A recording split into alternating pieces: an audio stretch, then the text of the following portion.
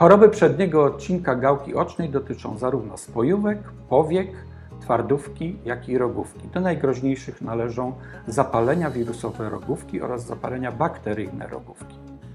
Leczenie ich przebiega w warunkach ambulatoryjnych, jest długotrwałe, a rozpoznanie ich nie nastręcza większych trudności, bowiem wymaga podstawowego badania w biomikroskopie.